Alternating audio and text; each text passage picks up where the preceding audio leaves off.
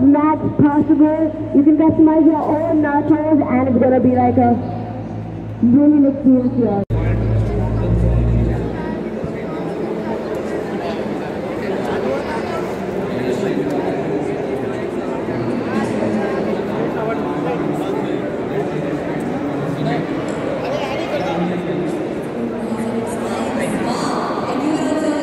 Thank you.